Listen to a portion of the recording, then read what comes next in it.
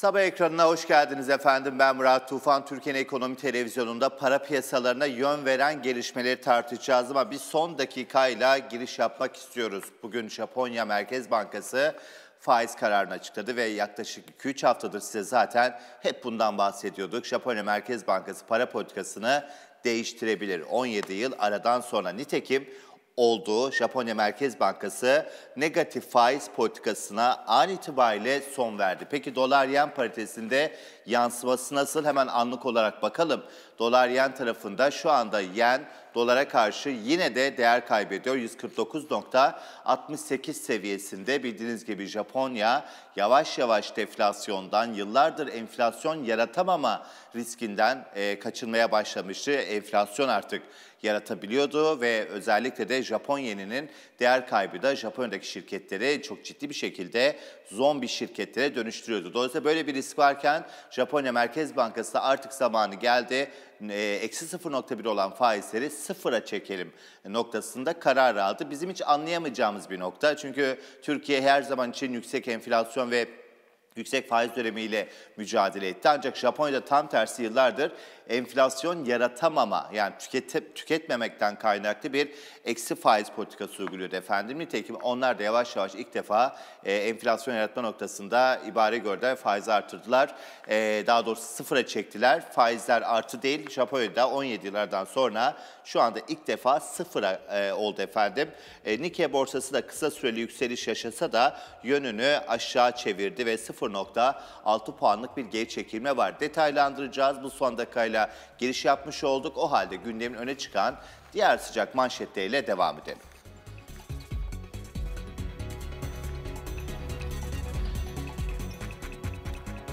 Cumhurbaşkanı Recep Tayyip Erdoğan, Keçiören'de Atatürk Cumhuriyet Kulesi'nin açılış töreninde yaptığı konuşmada daha çok çalışarak, üreterek, kazanarak devletimizin imkanlarını arttırmaktayız diyor. Her bir vatandaşımızın hakkı olan güvenin, güvenli, huzurlu ve rahat hayat seviyesine ulaştırmak boynumuzun borcudur ve en büyük sorunumuz olan enflasyonun yılın ikinci yarısından itibaren geçeceği hızlı düşüşünü de beraberce izleyeceğiz dedi Cumhurbaşkanı Recep Tayyip Erdoğan.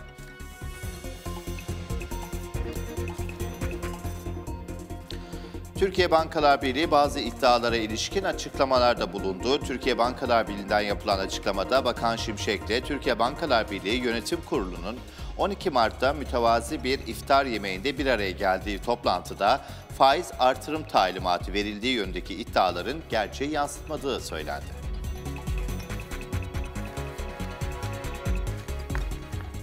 Ve buradan da SPK'ya geçelim. Sermaye Piyasası Kurulu döviz fiyatlarını etkileyerek gerçeğe aykırı bilgi verdiği tespit edilenler hakkında suç ihbarında bulundu ve bu anlamda döviz fiyatlarını etkileyerek ülke ekonomisine para ve sermaye piyasalarına dair güvensizlik yaratmak sahikiyle gerçeğe aykırı, aykırı bilgi verdiği tespit edilenler hakkında suç ihbarında bulundu ve ihbara, ihbarda bulunanlar kişiler arasında Yeni Çağ İnternet Gazetesi'nde dolar 15 gün sonra bu rakama yükselecek. Merkez Bankası raporundan sızdı başlığıyla ve Türkiye Cumhuriyet Merkez Bankası'nın her ay periyodik olarak yayınlamış olduğu piyasa katılımcıları anketinin Mart ayı raporundaki bilgileri çarpıttığı haberin tümüyle birlikte e, bakıldığı zaman Yazı İşler Müdürü Erdem Avşar, Eray Soylu, aynı zamanda Ahmet Çelik, Ali Güven, Özlem Denizmen gibi isimler SPK'nın e, ihbarında yer aldı.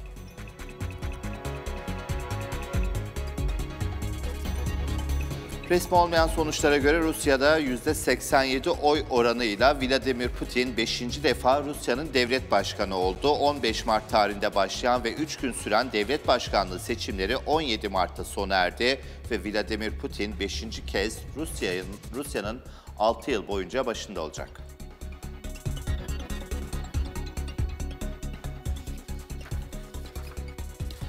Goldman Sachs, Japonya Merkez Bankası'nın 2007'den bu yana ilk defa faiz artırmasını bekliyor. Nitekim az önce de bu tahmin gerçekleşmiş oldu. Bankanın kıdemli Japon ekonomisti Tomohiro Ota, yıllık ücret görüşmelerinde beklenen güçlü maaş artışları ve hemen ardından Japonya'da salı günü sona eren Mart toplantısında negatif faiz oranlarından çıkışa ilişkin haberlere değinmişti ve pozitif olarak yorum yapmıştı. Nitekim Japonya Merkez Bankası tam 17 yıl aradan sonra ilk defa az önce faizleri artırdı.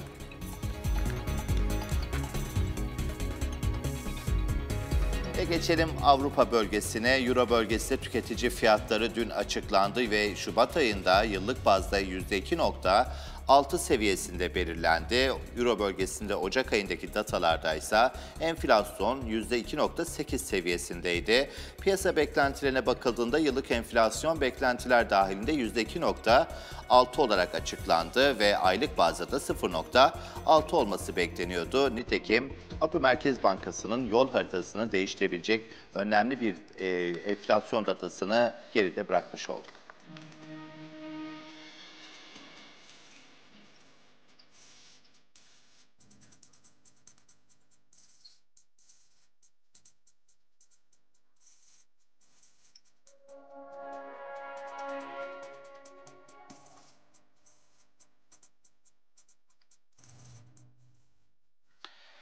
Evet efendim, e, güne başladık. Piyasa hızlı başladı. Tabii piyasa hızlı başlayınca e, rakamlara hemen bir bakmak da gerekiyor. Çünkü az önce Asya seansında bir yani son dönemde herhalde çeyrek yüzyılda ilk defa bir e, şeye şahit olmuş olduk. Ve Japonya Merkez Bankası faizleri sıfır seviyesine çekti. Bu da artık merkez bankalarının yavaş yavaş eski e, oyunlarını başka bir şeye e, evrildiğini de gösteriyor. Hem Fed'in hem de önümüzdeki dönemde diğer major merkez bankalarının yavaş yavaş artık eski para politikalarından yeni bir stratejiye geçeceklerinde öncü işareti. Dolayısıyla da Japon yeni Japonya Merkez Bankası hep eleştirildi. Acaba işte e, dövize müdahale mi ediyor, manipülasyon mu yapıyor diye. Ancak ilk defa Japonya Merkez Bankası gereksinim gördü. Ücret artışlarından dolayı faizleri sıfır seviyesine çekmiş oldu. Bize dönelim. Bizde de Perşembe günü Türkiye Cumhuriyet Merkez Bankası'nın faiz kararını vermesini piyasalar bekliyor. Ancak burada bir değişiklik beklentisi de olmadığını paylaşalım. Özellikle seçim belirsizliği hem doları hem de Borsa İstanbul'u oldukça yakından, oldukça baskılayan bir etmen. Döviz piyasalarında ilgi alaka biraz bu tarafa kaydı. Çünkü ekranda da görüyorsunuz her an dolar rekor kırınca vatandaşta ya da işte herkes daha doğrusu ülkece şirketler, işte e, vatandaşlar doları tartışıyor. Böyle olunca da SPK ve işte aynı zamanda ekonomi yönetimi başta olmak üzere bunun önüne geçebilmek için bazı caydırıcı önlemler alıyor. Bunlardan bir tanesi de dün işte bakıldığı zaman SPK'nın haber e, yapan e, işte medya kuruluşlarına bazı e, bu anlamda ihbarda bulundular. E, dolayısıyla da dolar tarafında çok ciddi bir aslında yönelim var. Bunun en büyük sebebi de yabancı kurumların ve özellikle Türkiye'deki birçok aracı kurumunda yıl sonunda Merkez Bankası'nın enflasyon tahmininin aslında tutturamayacağını düşünüyor ve böyle olunca da Merkez Bankası'ndan bu ayki toplantıda yani bu hafta Perşembe günkü toplantıda minimum 250 bas puan, maksimum 500 bas puan bir faiz artışı gel gelmesi gerekir diyor. Bildiğiniz gibi Merkez Bankası yıl sonu enflasyon tahminlerini %36'da tuttu. Ancak hem piyasa beklentileri hem de yabancı kurumların yapmış olduğu enflasyon hesaplamaları en az minimum enflasyonun şu anki konjonktürde %50 e, olacağı yönde. Dolayısıyla %45'lik merkezin şu andaki politika faizinin yetersiz kalabileceğini düşünüyor. Borsa İstanbul'a baktığımız zamansa aslında momentumun zayıfladığını, bir e, bir aslında üç geri bir ileri olan bir piyasa formasyonu, adeta bir mehter takımı formasyonu olduğunu söylemiştik. Çünkü çok güçlü bir yükseliş olmuyor. 9000 puan üzerinde tutunamıyor. Nitekim dün Borsa İstanbul tarafında da seçim belirsizliğinden dolayı ve son dönemde hem bankalara gelen işte e, bakıldığı zaman kredi kartının nakit avans faizinin yükseltilmesi hem de tabii ki kredi talebinin e, biraz daha kırılması adına yapılan düzenlemeler bankaların karlılığını negatif etkileyecek beklentisiyle borsada bir satış baskısı vardı. Dün de bu baskı devam etti. 72 milyar liralık bir hacim var. Özellikle krediyle işlem yapmak bu dönemde bir miktar riskli olabilir deyip çekinenler de var.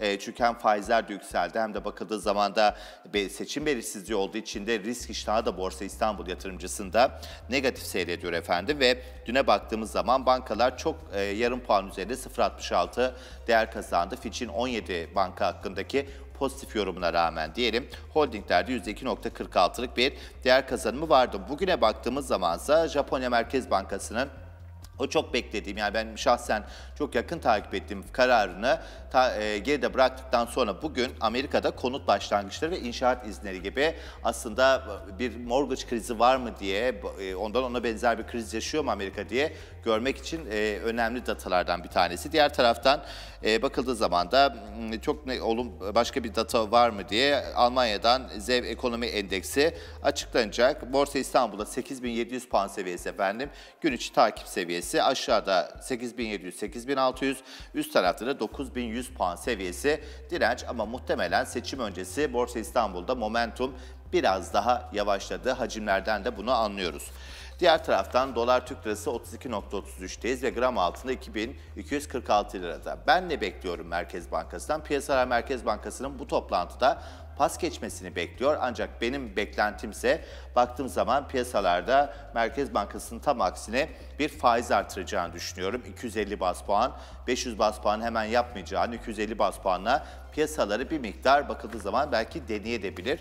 Dolayısıyla da bu öncü hareketler yani kur korumalı mevduata ve diğer zorunlu e, parasal sıkılaştırma adımları muhtemelen Merkez Bankası'nın bir faiz öncesi hazırlığı da olabilir diye yorumluyorum ama tabii ki e, kararı Merkez Bankası verecek bekleyip göreceğiz. Hemen buradan dolar endeksine bakalım. Az önce Japonya faizleri 17 liradan sonra ilk defa sıfıra çekti ve baktığımız zamansa şu anda dolar yen paritesinde ibre dolar lehine hala gözüküyor.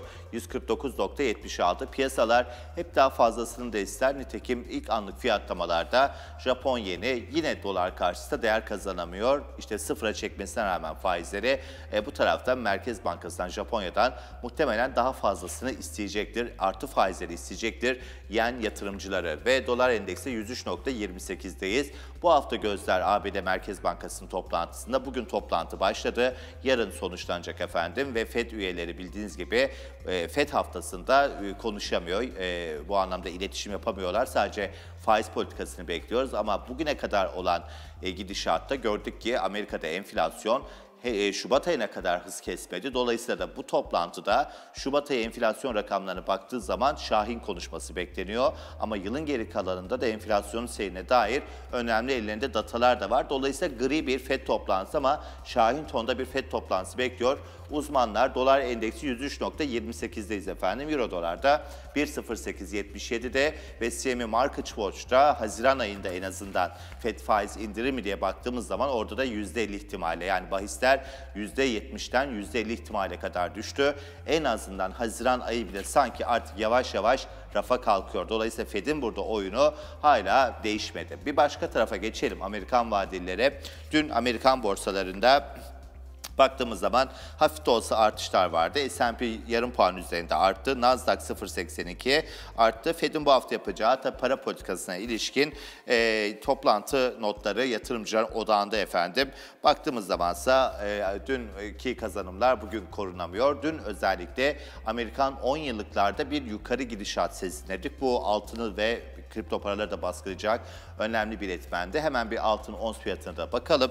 Daha doğrusu 10 yıllıklar özür diliyorum tahvil faizlerine baktığımız zaman enflasyondan dolayı bu tarafta özellikle Amerikan tahvil faizlerinin bir miktar yükseldiğini görmüştük. Nitekim ons altı fiyatları 2161 dolarda 10 yıllıkların 4.35'e doğru yaklaşmasından dolayı petrol fiyatları da 86 dolar ve 82 dolarda ve 10 yıllıklarda 4.32'ye kadar geldi. Bu enflasyona dair kaygıların iyiden iyiye arttığını ve Haziran toplantısının da çok iyimser kaçabileceğini faiz indirimi için gösteriyor. Son olarak da Bitcoin'e ve kripto paralara bakalım.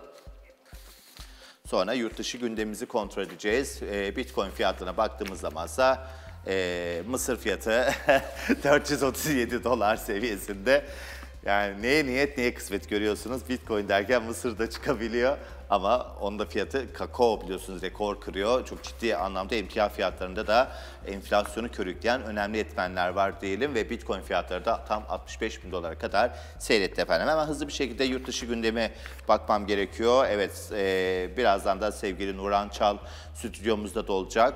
Apple'ın Google e, Gemini ile yapay zeka görüşmesi var. Bildiğiniz gibi elektrikli araç e, şeyini terk etti stratejisini. Tabii o ayrı bir odaklanma gerekiyor, ayrı bir üretim bandı gerekiyor gerekiyor. Ayrı bir üretim bandı olmadığı zaman e, ve ayrı bir e, aslında know-how olmadığında maliyet de artıyor. Yani bir seri üretime geçmek de gerekiyor. Biliyorsunuz Amerika'da Ford aslında bu e, bunu yıkan kişi işte atlı arabalar çokken New York zaman New York'ta o zaman da e, insanlara araba satmak istiyor ama arabayı bir külfet olarak görüyorlar.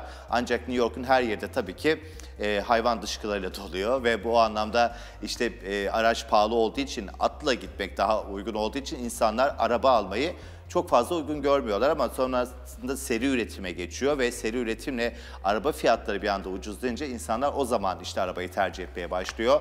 Ford'un o dönem yapmış olduğu devrimle. Şimdi Apple'ın böyle bir üretim bandı, böyle bir fiyatı kırabilecek rekabet avantajı olmayınca elektrikli araba noktasından sanırım vazgeçti ama e, yapay zeka yatırım yapacağını söyledi efendim. Yani hani bakıldığı zaman yapay zeka da e, çok önemli bir kas olması gerekiyor. O yüzden Google'la işbirliği yaptı. Yapınca da dün Apple hisseleri 200 günlük hareketli ortalamanın altından bir anda rebound aldı ve yükseldi diyelim. Diğer taraftan Reddit'in halka arzı da neredeyse 5 kat talep gelmiş efendim. E, ve Uber ise Avustralya'da taksi şoförlerinin maddi kayıplar için yaklaşık 178 milyon dolar bir ceza ödeyecekmiş. Kakao fiyatları az önce mısırı verdik. Gerçekten emtia fiyatlarında çok e, değişik şeyler ol- oluyor. E, rekor kırmaya devam ediyor. 3 ay aradan sonra iki katına kadar çıkmış oldu. Özellikle bakıldığı zaman Batı Afrika'daki hastalıklar ve bir dizi e, aşırı hava koşulları sebebiyle üretim azaldı ve üst üste e, üçüncü bir arz açığı noktasında efendim e, bu anlamda rekora gidiyor. Bakıldığı zaman bu e, çikolata fiyatları artacak önümüzdeki dönemde daha da artmaya devam edecek. Birleşik Arap Emirlikleri 2028'den itibaren 15 yıl boyunca Almanya'ya LNG tedarik ediyor ve bu anlamda e, gördüğünüz gibi Batı'nın aslında e, Rusya yaptırımlarından kolay bir şekilde kendini bir miktar Birleşik Arap Emirlikleri ve Körfez'in diğer ülkesi Katar'a bıraktığını, emanet ettiğini de görmüş olduk. Size de sorduk.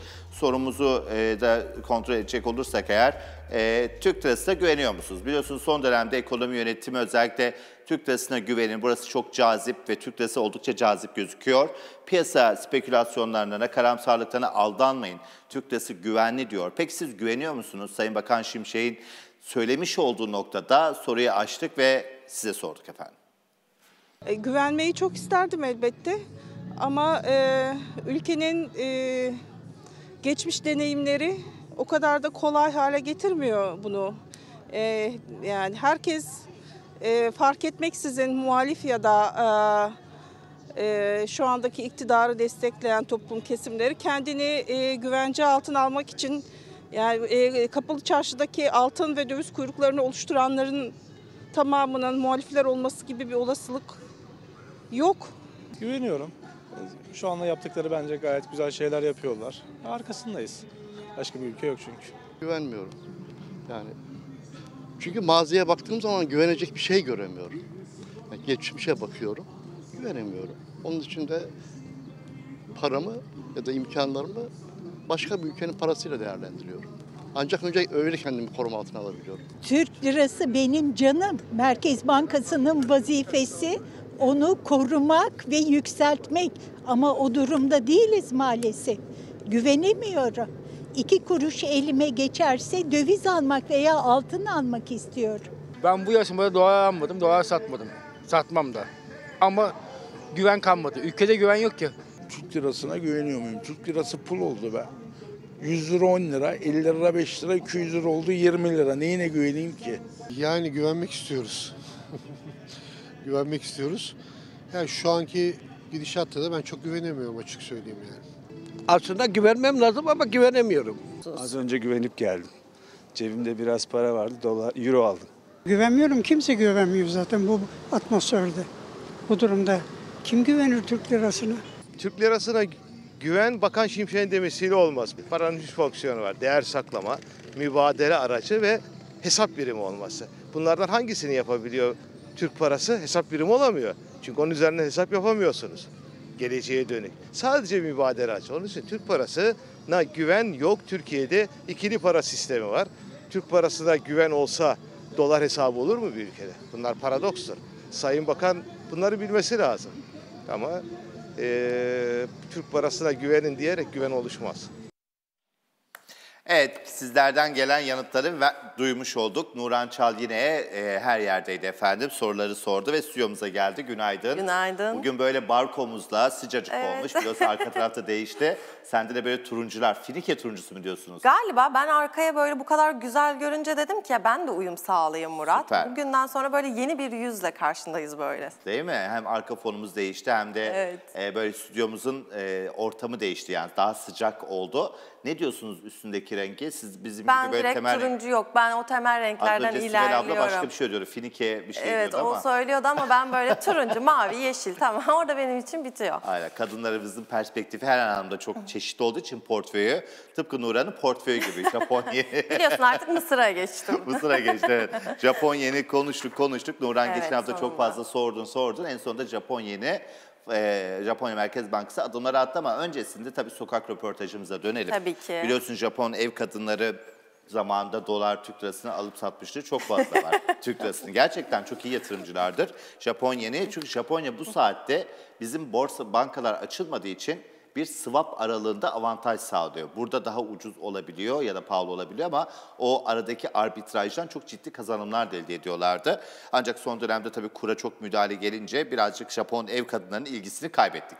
Bence Türk ev kadınlarının da ilgisini mi kaybetmişiz? Murat. Evet çünkü sokağın nabzını tuttum. Türk lirasına güven duyulmadığına ilişkin böyle açıklamalar karşıladım. Hepsi aynı şeyi söylüyor. Benim milletim, benim vatanım elbette ki güvenmek istiyorum. Mutlaka. Ama geçmişte uygulanan politikalar ve şu anki durum buna engel oluyor dediler. Sen de zaten gördün, izledin. Evet güveniyorum diyenler de var. Hiç yok değil ama sayıları oldukça az aslında. Evet yani sonuçta bizim milli paramız eee, tabii ki güveniyoruz, tabii ki seviyoruz. Paramız keşke kıymetli, değerli olsa da şöyle göğsümüzü gere gere değil mi? Yani Evet, Paramızı evet. kullansak, harcasak, tasarruf aracı olarak koysak ama maalesef satın alma gücümüz o kadar düşük ki ben mesela paranın gücünü nerede görmüştüm biliyor musun? Yani hiç ülkemizde şahit olamadım. Hani kendi yerli paramızda çok az bir dönem 2007 döneminde faizlerin ve enflasyon düşük olduğu bir dönem bunu hissetmiştim ama sonrasında hep böyle paranın gerçekten Türk lirasının hani kaderini yaşamış olduk seninle birlikte hepimiz daha doğrusu tüm ülkece.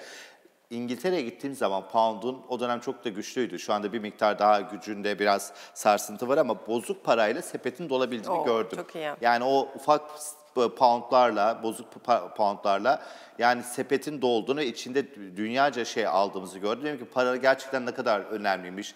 Gerçekten güçlü bir para. Ne dersin ben o dönemleri görebilecek miyim sence Murat? İnşallah ümit ediyorum. Ben Mehmet şimdi- Şimşek düğmeye bastı. Sırf sen gör diye. yani Mehmet Şimşek TL'ye güvenin dedi. Ben güvenmeye başladım. Bakalım umarım. Şöyle bir İngiltere'ye gideyim bakayım sepete neler koyabileceğim. Şu anda nasıldır bilmiyorum ama yani benim o dönem gittiğim zaman gerçekten de yani yaklaşık bir 4-5 sene öncesinde ki Londra çok pahalı bir ülke olmasına rağmen yine de bakıldığı zaman parası güçlü ve orada almış olduğun ürünler Türkiye'ye göre çok çok daha uygun. Tabii bu hafta merkez ne yapacak yani Evet, esas önemli evet. nokta o. Çünkü e, gördüğümüz kadarıyla hem işte hafta sonu gelen adımlar hem de Maliye Bakanlığı atmış olduğu adımlar şunu gösteriyor. Artık biz Merkez Bankası ile eş güdümlü politikaları uygulamak istiyoruz. Çünkü hem enflasyonu düşürmek hem de TL'nin cazibesini artırmak istiyoruz diye. Aslında çok kritik bir hafta. Hem işte Japonya Merkez Bankası'nın kararını bekliyorduk. Evet beklentiler dahiline geldi. Hem İngiltere Merkez Bankası derken merkez bankalar için gerçekten çok kritik bir haftaydı. Şimdi bizim Merkez Bankamıza yönelik görüş ayrılıkları var ama dün e, açıklanan anket sonuçlarına göre bu ayda bir pas geçme ihtimali değerlendiriliyor Murat. Evet sen faiz artırma ihtimalinden 250 söz etmiştin. bekliyorum. Dün yayınlanan anketlerde pas geçme ihtimali değerlendirildi. Ben dün de söylediğim gibi kararlarımı artık açıklamıyorum çünkü hep yanılıyorum. O yüzden böyle daha işte kararı bekledikten sonra evet ben de öyle düşünüyordum diye gelebilirim. Aslında yanılmakta da gayet e, sorun yok. Çünkü Türkiye Cumhuriyet Merkez Bankası'nın piyasa beklentilerini tam aksine hep hareket ettiğine de şahit olduk. Son e, Sayın Karahan döneminde ve bir önceki başkanım Sayın Hafize Gaye Erkan nezdinde diyelim onun döneminde bir tek tutturulabiliyordu. Yani faiz Evet, artılacaksa evet. artılacak deniliyordu. Daha öncesi hep bir gri bir tablo olduğu için hep bahislerde piyasa şaşıyor. Zaten burada önemli olan ne biliyor musun Nuran? Yani Merkez Bankası senin benim piyasa çünkü piyasa dediğimiz ne canlı kanlı bir şey. Nuran'la ben bir, bir alıcı ve satıcıysak piyasayı oluşturuyoruz işte. Yani baktığınızdan piyasa böyle çok başka bir şey değil yani aslında etli canlı ve gayet de hani duyguları olan bir yapı. Bizim beklentilerimiz yani Nuran'la benim beklentim, piyasanın beklentisinin tam tersi bir hareket ettiği zaman Merkez Bankası aslında başarısız oluyor orada biliyor musun? Çünkü piyasa ne bekliyorsa önceden fiyatlıyor. Merkez Bankası sembolik olarak o toplantıda sadece kararını açıklaması lazım. İstenen Merkez Bankası budur. Ama istenmeyen Merkez Bankası şudur, kararlarda başarılı olup olmadığı. Karar neticesinde piyasa fiyatlarını anlık etkili ve piyasayı hep tersi sürüklüyorsa işte orada bir volatilite ve oynaklık artıyor. O zaman Merkez Bankası aslında doğru bir şey yapmıyor. Önceden iletişim başarısız kurduğunu da gösteriyor. Merkez Bankası rengini doğru belli edecek ve masada oyunu doğru kurması gerekiyor. Evet ama şu anda beklentilerde farklılık gösteriyor. Çok Bakalım. gösteriyor. Evet. Bu da enflasyona dair işte orada bir sıkıntı var yani. %36 enflasyon her ne kadar e, Sayın Akçay işte biz bunu doğru tahmin ettiğimizi düşünüyoruz veri setimizde yoksa oksimoron olur demişti. Ama piyasa anlaşılan ki farklı düşünmeye devam ediyor. O zaman biz şöyle güzel boğaz manzarasını biraz izleyelim reklam arasında ve kısa bir ara sonra devam edeceğiz.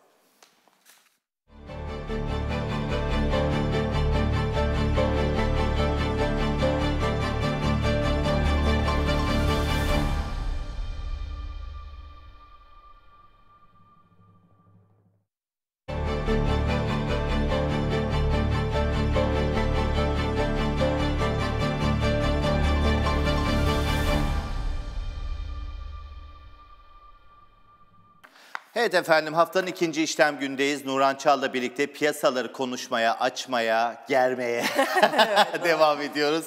E, bu hafta gözümüz Merkez Bankası'nın faiz kararında ve Merkez Bankası'ndan beklentiler az önce sevgili Nuran da söylediği gibi piyasanın beklentisi faizleri sabit Evet, bırakması evet. yönünde. Ancak bunu herhalde ikiye bölmek lazım. Bir piyasa, iç piyasacılar bir de yabancı piyasa uzmanları. Yurt dışı faiz artırımı bekliyor. Yurt dışı faiz artışı bekliyor, yabancılar faiz artışı bekliyor ve içeridekiler ise daha çok böyle faizleri sabit bırakılması yönünde. Ben bir miktar sanki yabancıya yakınım. 250 bas puanla ya şundan dolayı aslında bunu söylüyorum. Hafta sonu biz Cuma günü seninle mesai kapattıktan sonra biliyorsun Nurhan.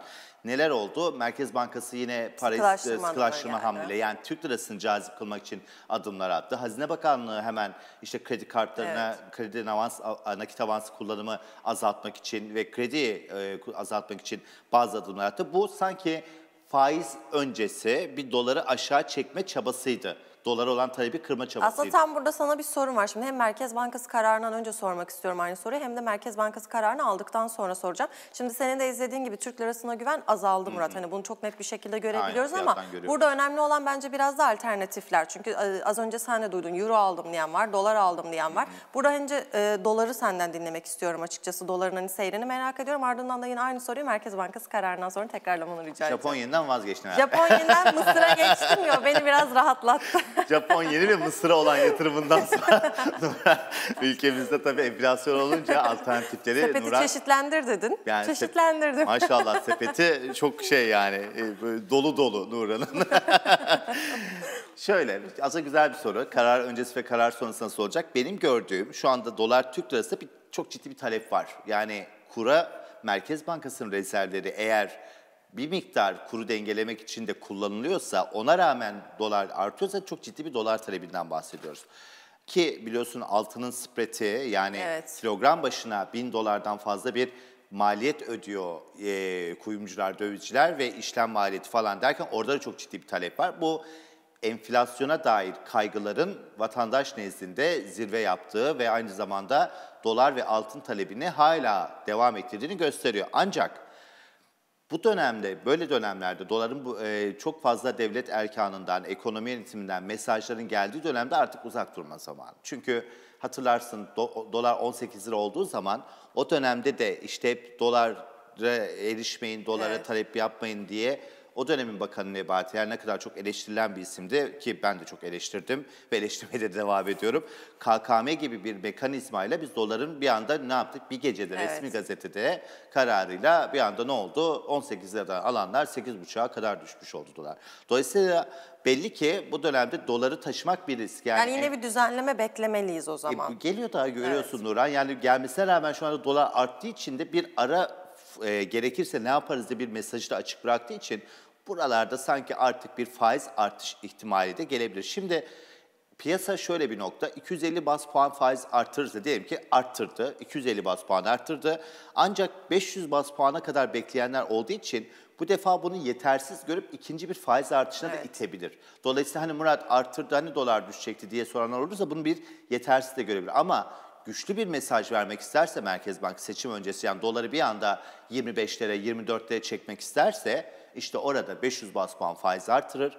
Sert bir mesaj verir, şahin tonda bir mesaj ve dolar düşer. Dolayısıyla ben 250 bas puanı çok güçlü bir metinle desteklerse yani gerekirse biz daha da devam edeceğiz gibi bir mesajla desteklerse dolarda bir aşağı doğru gidişat görürüz. Ama 250 bas puan yaptığı yumuşak bir tonda artık sonuna geldik gibi bir mesaj paylaşırsa piyasa orada yine ne demek istediğimi Evet, açabilir evet, değil evet, mi? tabii ki. Yani Şey yine faiz yani. kararı aslında odak Hem noktamız. ifade Faiz- çok evet. önemli hem de ne kadar yapacağı Tabii da çok ki. önemli. Karar metni zaten hep söylüyoruz. Çok önemli. Verilen ifadeler, kullanılan sözler bizim için çok önemli. Onların hepsini paylaşmaya devam Aynen. edeceğiz. Söylediğim gibi karardan sonra tekrar bir görüşüne başvuracağım Bak, bakalım. başvuracağız. Yani yine altın çizeyim. Bu dönemde ben hani neye yatırım yaparım?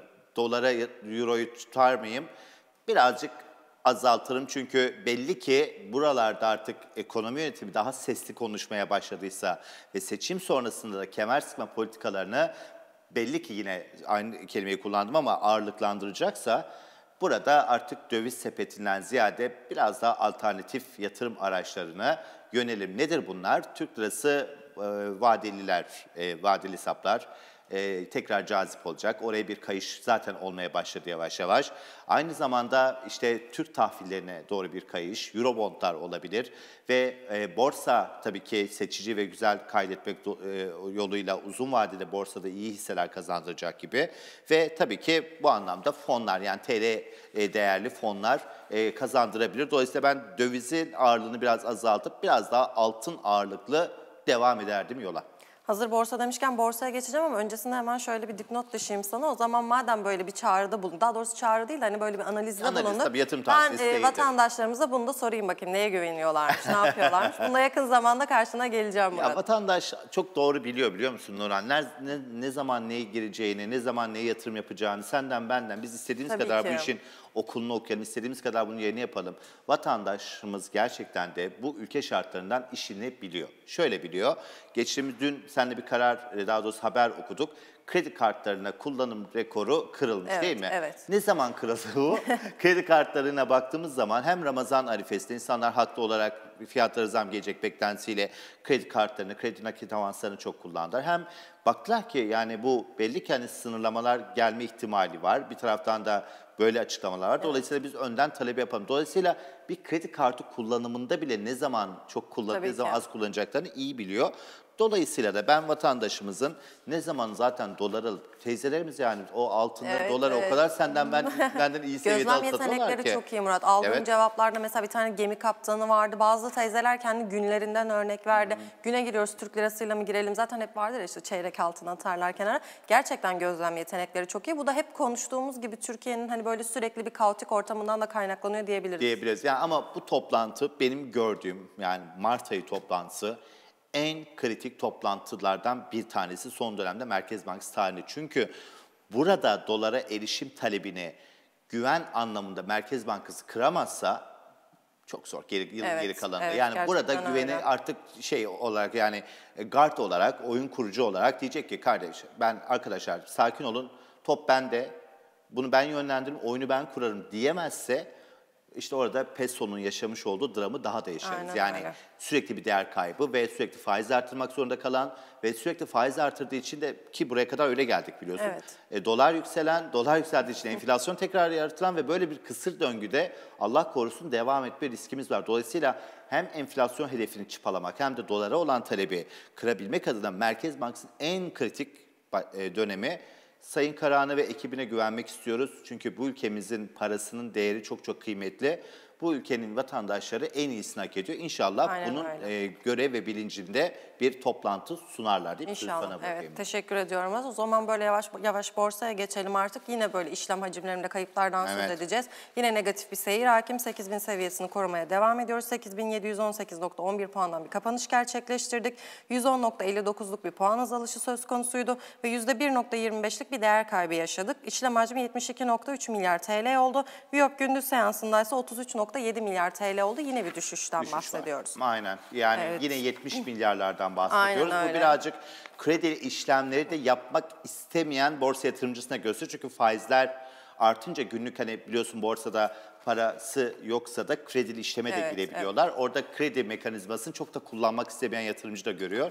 Haklı da olabilirler çünkü seçim öncesi açığa satış ve kredili işlem yapmakta e, itina gösteren bir yatırımcı grubu da var. Öyle de yapın bence. Sonuçta paranız kadar yatırım yapmak en kıymetlisi. Hem ondan kaynaklanıyor hem zaten Nuran'la biz hep konuşuyoruz. iki haftadır seçim arifesindeyiz. Yani biz yukarı gidişlere çok inanmıyoruz Şu diye. 31 Mart artık Aynen. bir gelse, Gelse de böyle hani bitse diye. sonuçlar belli olsa da rahatlasak keşke ya. 8700 puan seviyesi destek olmaya devam edecek. Evet, söylemiş evet. olduğun rakamlarda yine belirsizlik fiyatlamasını gösteriyor. Aynen öyle. Hemen böyle alt detaylara bakalım. Sektör endeksler arasında en çok kazandıran %1.13 ile menkul kıymet yatırım ortaklığı, en çok gerileyense %4.92 ile spor oldu. Spor oldu. Evet o zaman Sporda çok normal Fenerbahçe Evet. birazdan açıklamalar da yapacağız. Sayın e, Ali Koç dün Fenerbahçe TV'de konuştu. Röportajı ben de izledim. Gerçekten bu bir Galatasaraylı olarak Fenerbahçe'ye yaşatılanları burada ben de itiraz ediyorum. Futbola yaşatılanları ki futbolu artık izlemiyorum. Yani maalesef Türkiye Futbol Federasyonu'nun çok bu anlamda beceriksiz ve niteliksiz artık süreci yönetmesinden dolayı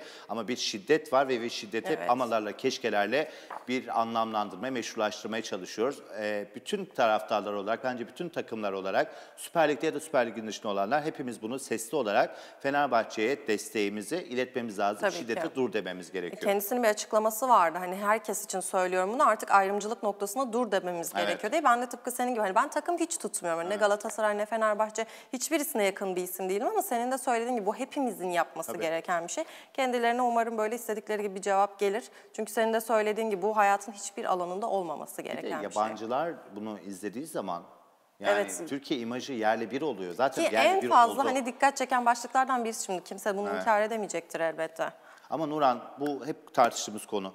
Enflasyondan dolayı toplumda bir çok ciddi anlamda şiddet eğilimi artıyor. Türbün dediğin şey bir Türkiye'nin başka bir gerçeğidir, yansımasıdır. Orada işte emniyet görevlileri yoktu, özel güvenlik görevlileri vardı. Hepsi de çok çok e, yani tebrik ediyorum. Yani o süreci o insanları yönetmeye çalışmak ama polis emniyet yoktu. Yani ama Türkiye'de bir ciddi anlamda artan bir şiddet eğilimi var. Sosyal medyada özellikle Fenerbahçe Trabzonspor rekabetini körükleyen bir grup var. Yönetimler çok iyi kendi aralarında anlaşıyordur mutlaka ki dün Sayın Koç da söyledi. Yani Trabzon yönetimine ben çocuğumu, oğlumu emanet ettim orada maç esnasında. Yani onlarda bir sıkıntı yok. Yani toplum bu kadar geren, Evet, alttan alta da bir evet. sosyal medyada da başka bir grup da var. Yani germeyelim mi toplumu? Zaten enflasyondan dolayı, hayat pahalılığından dolayı insanlar gergin ve mutsuz.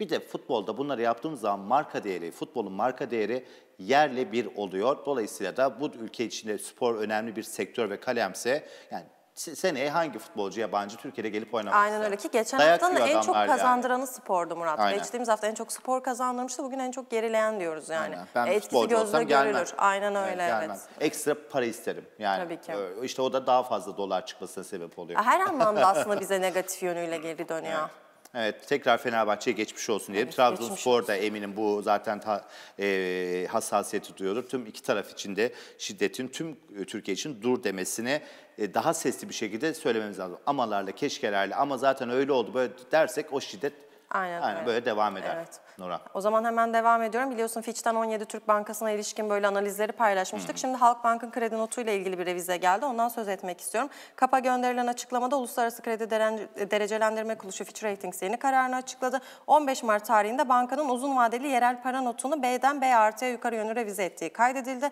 Açıklamada ilgili kuruluş bankamızın uzun vadeli yabancı para notunu B eksi kısa vadeli yabancı para notunu B, kısa vadeli yerel para notunu B, finansal kapasite notunu B eksi olarak teyit etmiştir. İlgili, not, ilgili notların görünümlerine bir değişiklik yapılmamıştır açıklaması kaydedildi. Diyelim ve hemen TOB'a gidelim istiyorum. Rifat Hisarcıklıoğlu'nun bir açıklaması var. Yol doğru, ekonomik program doğru diyor Murat. Burada Gayet güvenen- doğru bir açıklama evet, bu arada. Evet, aynen Sonucunu öyle. sadece görmek istiyoruz. Aynen Fatih. öyle. Hemen onun açıklamasından da böyle kısa kısa notlar vereceğim. Şu anda yaşadığımız sıkıntıları aşacağız. Doğru bir ekonomik programla yola devam ediyoruz.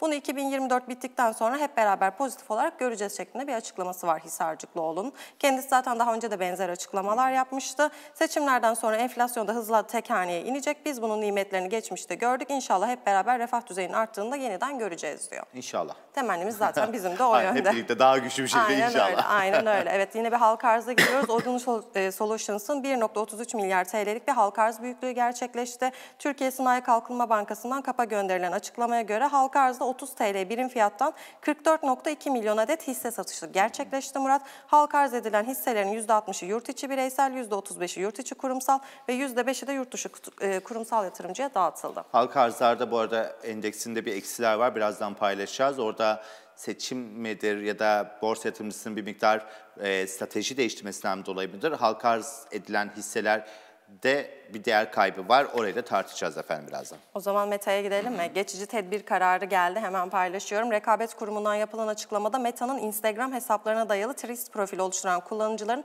verilerini kullanıcılara onay seçeneği sunmaksızın birleştirmesini soruşturması tamamlanana kadar telafisi güç zararlara yol açacağı değerlendirildi ve geçici tedbir kararı geldi Murat. Biliyorsun burada zaten böyle hani haber akışlarını bizler de sürekli takip ediyoruz. Şimdi açıklamada şu ifadeler yer aldı. Meta'nın pazarda uzun yıllardır faaliyet göstermesi sebebiyle kapsamlı ve detaylı bir veri birikimine sahip olduğuna işaret edildi ve firmanın sahip olduğu kullanıcı tabanının büyüklüğü ve çeşitliliğinin reklam verenler bakımından meta hizmetlerine cazip hale geldiği belirtildi. Evet. Bizler zaten bunu sürekli konuşuyoruz aslında. Hepimizin diline pelesenk olmuş bir durum bu.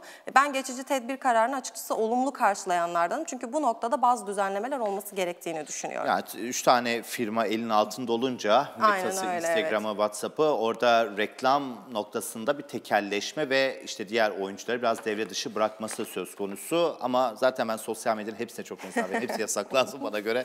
Dolayısıyla da çok da yani inanılmaz paralar. Bak şimdi 4.8 evet. milyon idari para cezası ödüyor. Demek ki ne kadar kazanıyorlar bizim üzerimizden. Evet, evet. O da başka bir konu zaten. Evet, sen söylemişken tekrarlayalım. Her gün için 4.8 milyon idari para cezası Ya. uygulanıyor. Bu detayı Evet. hemen verelim. Kaç milyon kazanıyorlar. Aynen öyle. Ee, sırf sadece bizim algılarımız yüzünden. O hani kaydırmayı çok seviyoruz ya. O kaydırmayı çok seviyoruz diye. Ben de biraz bağımlısıyım onların galiba. Evet ya çünkü şöyle bir şey var Murat artık böyle hani haberleri kaç kişi haber sitelerinden takip ediyor? Hepimiz böyle sosyal medya platformlarına yöneldik artık ya da günlük hayatımızda bir kahve içsek paylaşıyoruz işte bir arkadaşlarımızla buluşsak Niye paylaşıyoruz. paylaşıyoruz? Sosyal medya şu anda hayatımızın merkezi olmuş Evet. durumda aslında bakacak olursan ki biliyorsun bunun üzerinden iş modelleri gelişti ve şu an en çok kazandıran iş modellerinden birisi oldu Evet. onlar. Ya- Hatırlarsan biz böyle program yapmaya başladığımız ilk zamanlarda ben paylaşmıştım yılın meslekleri diye. Influencerlık en fazla para kazandıranlar listesinde ilk sıralardaydı. Vallahi çok sinir oluyorum.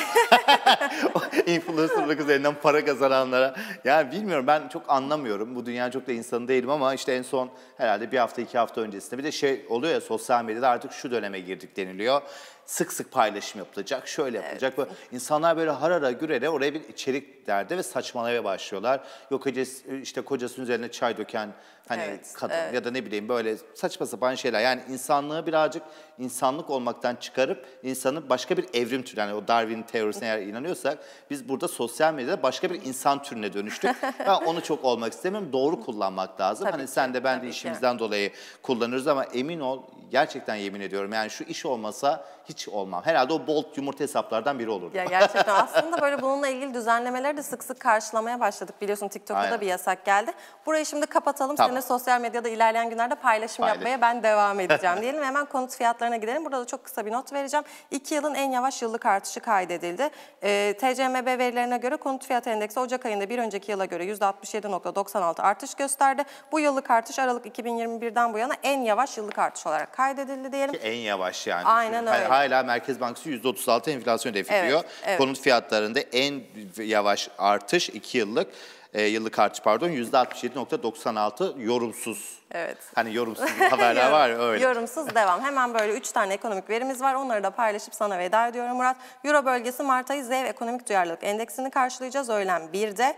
Ee, ve hemen ardından da Amerika önce inşaat izinlerini karşılayacağız 3.30'da. Bugünkü veri takvimi oldukça sakin. Aynen. Zaten söz etmiştik dün de aynı şekildeydi. Bakalım ilerleyen günlerde neler olacak. Abi esas parti yarın FED Evet. toplantısı var. Dolayısıyla bugün e, piyasalar dinlenecek, yarın partileyecek ümidiyle. Aynen Nurhan, öyle. çok teşekkür ederiz. Ben teşekkür ediyorum. Renk kattın takımınla, ceketinle, Şimdi renginle. sen stüdyoyu renklendirince Değil mi? Böyle sıcak oldu. Stüdyomuz. Ben bu halini çok beğendim valla. Arkamızdan boğaz geçiyor, siz işe gidiyorsunuz, biz piyasa rakamlarını anlatıyoruz.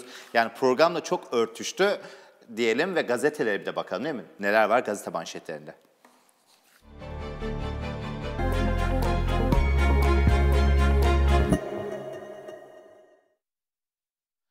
Evet gazete manşetlerine gidiyoruz efendim ve gazete manşetlerinde ilk durağımız Analiz Gazetesi ekonomi gazetelerinden ve ekonomide umutlar Nisan ayına ötelendi. Hem sektörler hem de vatandaşlar umutlarını Nisan ayına erteledi. İşçi alımları ve işçi çıkarma hesapları seçim sonrasına ertelenirken yatırım yapmak isteyenler de yine Nisan ayını bekliyor. Ürünlere yapılacak zamlar da yine aynı aya ertelenirken vatandaşlar da kişisel yatırımlarını yine seçim sonrasına bıraktı deniliyor ve ekonomi yönetiminde adeta seçim sonrasını bekliyor. Nisan ayına gerçekten de odaklandık. Neden Nisan ayı? Mart ayında seçimler yapılacak. Nisan itibariyle de bir miktar daha yol haritasını net şekilde göreceğiz. Şu anda bütün piyasa, reel sektör olsun, piyasa olsun, vatandaşlar bizler olsun oraya odaklandık. İkinci habere geçelim.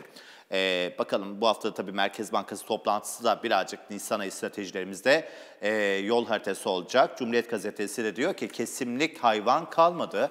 Bakan Bolat etteki fiyatı küçük bir sıkıntı olarak açıklarken açıklarken üreticilere uyarı üstüne uyarı yapıyor efendim. %30 son bir ayda et fiyatlarında artış oranı var.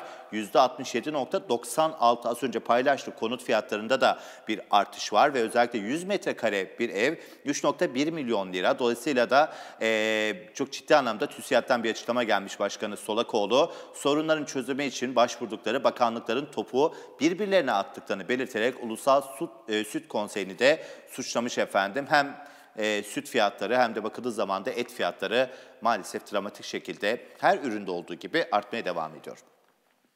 Cumhuriyet Gazetesi'nden dünyaya gidiyoruz. Altında fiyat makası açıldı. Az önce de bahsetmiştik. Dolar, Türk lirası ve ons altındaki yükselişten güç aldı diyor Büro Bozkurt haberinde ve vatandaşların talebiyle adeta yok satan gram altında spot piyasayla kapalı e, e, piyasa çarşı arasındaki makas iyice açıldı. Uzmanlar dengeleme için kotayı işaret ediyor diyor ve kapalı çarşıda gram altın 2500 liraya ulaştı. Yani biz size ekran fiyatını olarak 2128 liraydı sanırım az önce paylaştık. Yani 2200 diyelim hadi. Sonuçta piyasada kesin bir fiyat yok. Maalesef ülkede geldiğimiz nokta bizde Ekotürk TV olarak, ekonomi kanalı olarak fiyat başka. Kapalı çarşıya gittiğiniz zaman makas açıldığı için orada size başka şeyden veriyorlar. Dolayısıyla da maalesef 200 2500 liraya kadar çıktı efendim. Evet bir başka hemen habere geçelim. Son haber Hürriyet gazetesi. Borsada teknoloji rüzgarı. Borsada sene başından bu yana en düşük getiri inşaat ve bankacılık tarafında gelirken teknoloji ve bilişim hisselerinde sert yükseliş ise hız kesse de sürüyor. Yılbaşından bu yana en yüksek getiri %71.1 ile bilişim endeksi sağlamış efendim. Bazı hisselerde %200'ü aşmış diyor uzmanlar. Endekste de %1.25'lik bir kayıp yaşanırken havacılık sektörünün ön plana çıkabileceği noktasında sevgili Çağlar Toros'un da analizi var ve e, sayısal medyayla devam edelim.